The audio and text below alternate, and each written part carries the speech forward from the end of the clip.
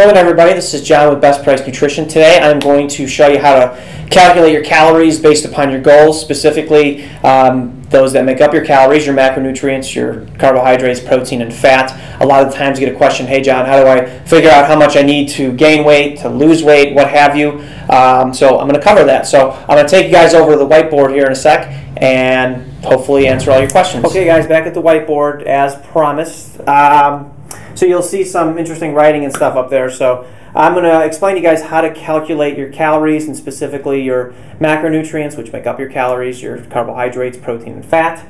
Uh, real quick over here, quick rundown. We have an in-depth video on metabolism, um, what this means real fast.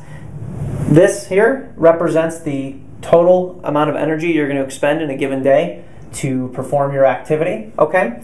Down here, you have your BMR or RMR, just your resting metabolic rate or your basal metabolic rate. They differ insofar as BMR is taken after a 12 hour fast, 8 hours of sleep. RMR is just what you do at rest. There's a small difference between the two, so we're just going to kind of call them one thing here.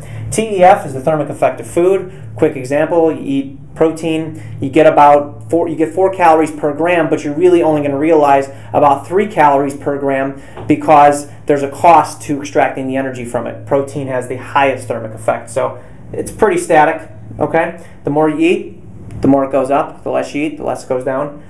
Non-exercise activity thermogenesis, that's things like fidgeting, uh, standing, chewing, work, walking, things like that. And up here is the thermic effect of activity, also known as your exercise, okay? Um, you know, the more exercise you do, the more you're going to burn, so on and so forth. That's your activity level, as it's commonly referred to as. So the question comes up is, you know, Jeff actually asked on the other side, said, hey, how do I calculate my uh, maintenance calories. And you know, there's more than one way to do this. They all kind of get you to about the same place. Um, the biggest variance in calculating somebody's maintenance calories is how much activity you're doing, how much exercise you're doing. Uh, in the metabolism video, we covered non exercise activity thermogenesis. You have some control over that, but the one that you have the most control of is your exercise activity. So, the more activity you have, of course, the more calories you're burning, hence, your maintenance calories would go up.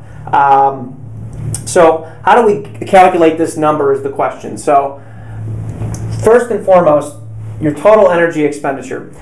For somebody who's active, I'm talking about somebody who you know is you know working out at least five hours a week with relative intensity. It's about 15 calories per pound. Could be 14 for some. Could be 16 for some. Um, you could take that or 33 calories per kilogram of goal body weight. I say based on your goal body weight and do it within reason. You know, if you're trying to gain weight, let's just give the example, and you're 130 pounds and your goal is to be 250, I don't know why your goal would be that much. Well, then I would do it incrementally, where maybe you go about 15, 20% above your current weight. But generally speaking, most people have goals that are within reason. If you're trying to lose a lot of weight, yeah, setting it down lower is, is actually, you know, okay, because it's going to lead you taking in less calories. So, without further ado, let's just go ahead and do an example here. So, let's just say I weigh 200 pounds. I want to lose 15 pounds. My goal body weight is 185 pounds. And real quick, I'm not huge on the scale, by the way, for um, measurement because you know there's water weight and things like that are going to vary. So pictures are your best thing. But for the purpose of calculating this, we need a number. So let's just say 185 pounds. You know, I want to be lean. I want to see my abs, all that fun stuff.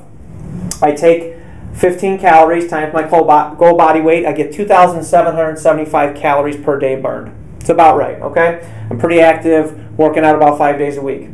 Now, I want to set a caloric deficit. In other words, I want to take in less calories than I burn so that I can lose that weight. If I just eat this many calories and continue with my current activity, I'm going to stay the same weight.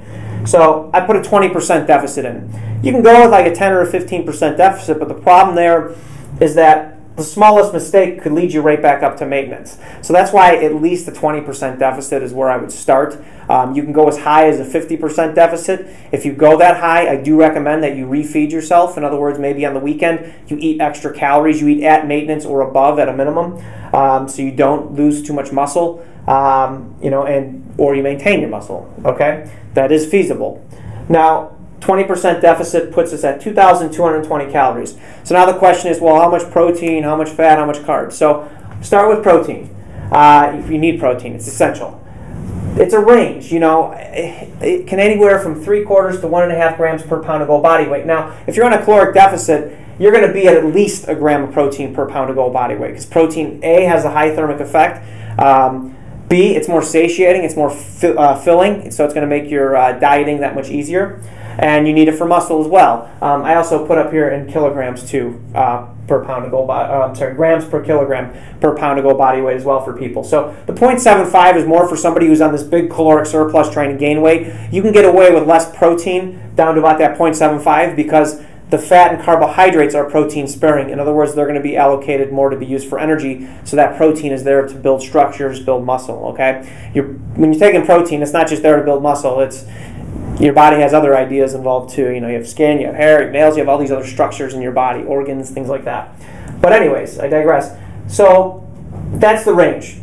I like to set it personally at about a gram per pound of goal body weight. I think that's a good start. Um, you know, the research kind of has found a range. It's a little bit based on a lot of trial and error as well as where we get that level because some of the research is lacking in matching um, calories with protein and comparing various caloric intakes where protein is static, you know, where we vary much from fat and carbs. But next, I would set fat, and that's also a range 0.3 to 0.5 grams per pound of goal body weight. Um, and next is carbs, and I put it depends because there's no such thing as an essential carbohydrate. Now, in no way, shape, or form is this me advocating people do a ketogenic diet because it's somehow better. All things being equal, if your protein's the same and you take in the same amount of calories with one person from fat, or the other person takes in a distribution of fat and carbohydrates where that minimum is met, there's not going to be much of a difference. Okay? I covered that in the ketogenic dieting video. Sometimes people think, oh, I'm losing all this weight. Well, a lot of the times you're pulling water out of your system, your glycogen's depleting, things like that. So it depends, and you'll see why I put that. And my smiley, I know it sucks. But, so we'll come down here, back to my goal. So I calculated my 15, uh, or my, my deficit at 2,220. So first what I'll do is I'll take my protein and I'll calculate it. Again, I set it at 1 gram per pound of goal body weight, 185 grams times 4, because there's 4 calories per gram, is how I arrive at 740 calories. My fat, I went ahead and put that at, uh, I think I put it at 0.4, right in the middle, per pound of goal body weight. So I'm at 74 grams times 9, because there's 9 calories per gram uh, of fat. That's 666 calories. um, 740 plus 666 gets us to 1,406 calories. I take my deficit amount of 2,220 minus that number and I come up with 814 calories left over for carbohydrates. I divide that number by 4 because there's 4 calories per gram of carbohydrates. Protein and carbs, 4 calories per gram, fat 9. 204 grams of carbohydrates. And then my total calories here would add up to my deficit of 2,220. So that's how much protein, fat, and carbohydrates. If you're using something like MyFitnessPal, you can go in and plug that into your goals. And then eat what gets you into that range.